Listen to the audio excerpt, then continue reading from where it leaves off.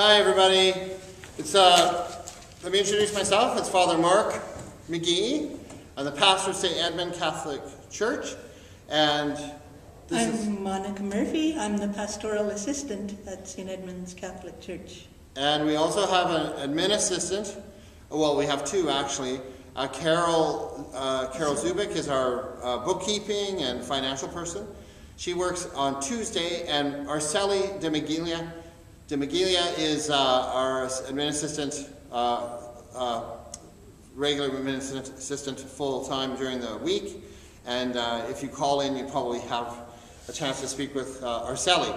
She's busy right now, so she can't be here just to say hello. But um, anyway, that's your parish team here at St. Edmund. Um, your school falls within this parish's boundaries of St. Edmund, so therefore, we have a pastoral responsibility for your school, the school that you're sending your child to. It is a collaborative relationship that the parish has with the school and parents. It's that tripod of collaboration established between us that serves to support the full flourishing of your child as they progress through their academic career in one of our Catholic schools. It's the Catholic kind of pedagogy or approach to education that includes this kind of collaboration. So the tripod of parents, school, and uh, parish, the church, kind of all pulling together in the same direction. Um, St. Edmund is a community of about 800 families in a church community, a community that has been led by about 20 pastors since 1910. We're named after our patron saint, St. Edmund of Canterbury. He was the Archbishop of Canterbury. He was born on the November 20th, 1180, and died with his boots on defending the faith on November 16th, 1240. He was a professor at both Oxford and Paris, and his successful career as a professor took a turn towards a religious vocation. After having devoted himself to the study of theology, Edmund was ordained a priest in 1222, 800 years ago this year. St. Edmund was an academic, a sound administrator, a powerful preacher, and a principled person who even stood up to King Henry Third in defense of religious liberty and church autonomy. St. Edmund was known to the people as a kind and hospitable man, generous with both money and service to the poor and the sick. Uh, during these days of the COVID virus, which continue far longer than we ever would have imagined, I think, um, still we remain active at St. Edmund Parish. Uh, we're, um, the parish has a mass schedule for weekdays right now, uh, weekdays at 12, 10 p.m. That's at the lunch hour, uh, Tuesday, Wednesday, Thursday, and Friday. Um, one of the things Monica has noticed is that uh, uh, Monica has noticed is that uh, on a Thursday when it's a half day, we often have parents driving by to you know pick up the kids or whatever. Um, but uh, just thought, you know what, you should you should come to mass. You're welcome to come. We invite you to kind of take a moment, a half hour, and and come in uh, when you're on a short day on a Thursday, and uh, you can bring your your your family with you um, if you ever get think of it and get a chance. Our Sunday masses are uh, Saturday. Our anticipatory mass, of course, is Saturday, at, uh, and it's at 4 p.m. and then Sunday at 10 and 12 noon.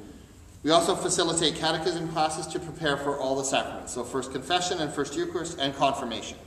So you're going to want to watch for that uh, in your school newsletters because we share that information with the schools. We also have students in the parish boundaries, the schools that are in our parish boundaries. We have uh, students that are from other parish boundaries. So they live in a parish boundary of St. Charles, or they live in the parish boundary of St. Matthew, or something like that. So those uh, parishes may also be putting their sacramental preparation dates uh, in the new school newsletter as well. You can watch for that if you're from those parish areas. Um, but you're certainly most welcome to, to join us here. Um, we are a family of families, and we want to be there for your family. That's, that's what we want to do. Our hope is to help facilitate your child's religious project progress. We're here to respond to your requests. Please feel free to call 780-455-8592. If you live outside St. Edmund Parish boundaries, we'd be happy to facilitate your access to the local parish where you do live. The Catholic parish exists to offer something that simply is not available anywhere else. Nothing else replaces the sacraments, the Eucharist, a sense of worship that is accomplished together in, a, in, in community. Um, there's many ways to be involved in the life of the parish community, and many people are here to welcome your participation. Sacramental preparation for your children is a clear priority, yet there is so much more available to help you in your religious and spiritual life and in your pastoral care.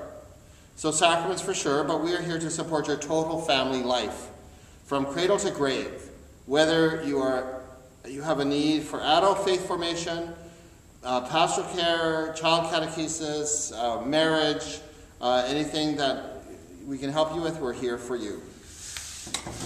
So I should also mention we have an active youth group that meets on Thursdays when schools have early dismissals. Youth group is for junior and senior high students, and we meet from 4 till 5.30 unless the school schedule changes. St. Edmunds is located at 13120 116th Street in northwest Edmonton, right on the corner of 132nd Ave. The tel- telephone number is 780-455-8592. We have an online presence through the Catholic Archdiocese of Edmonton website or our own website at http saintedmund.caedm.ca.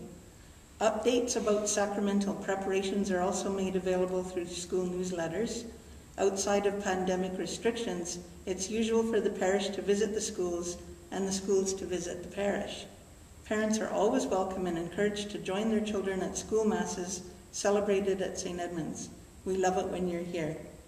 For an up to date schedule for sacramental preparations, please contact the parish office, and the number again is 780 455 8592. And they can, you can speak with Monica about any kind of way she can uh, direct you in terms of sacramental preparation as well. Yeah. Okay. Right Thank on. you. Thank you. You're welcome. Thank you.